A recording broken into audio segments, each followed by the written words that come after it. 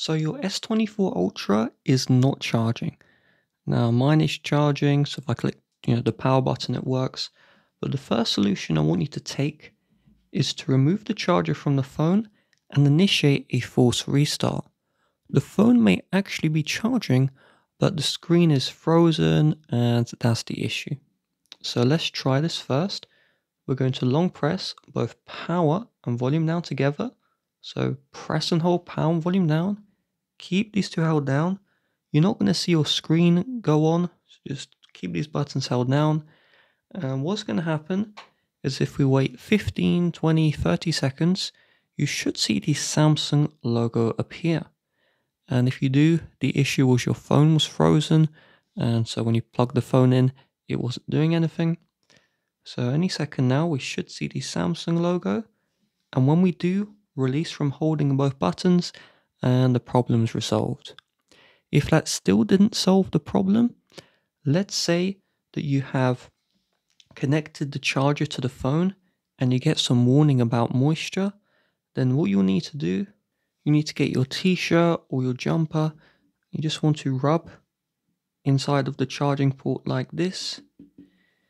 And then you'd reconnect the cable. If that still is giving like a error message, then you would use the other side of the cable. So there are two sides here. We have one side and then we have the other. Just switch the side of cable you're using and then that should solve the issue there. If you still have a black screen and your phone isn't even turning on, the issue may be that the battery or display connector was disconnected. So to solve this, we're going to get two thumbs and we're just going to go from the top to bottom of the screen and we're going to push in really hard with maximum force and we're just trying to get that connector to pop back in. So you should hear a click sound, hopefully, and if you do, that means that the display or the battery connector was unplugged. So just go all the way down, and you repeat it multiple times, and do the same with the back, right? You don't have to like rub your fingers, you can like push down like this as well Okay, try and get that connector to go back in. And once done, do the force restart, so power volume down, and then wait for the Samsung logo to appear. Once the Samsung logo appears, you're good to go.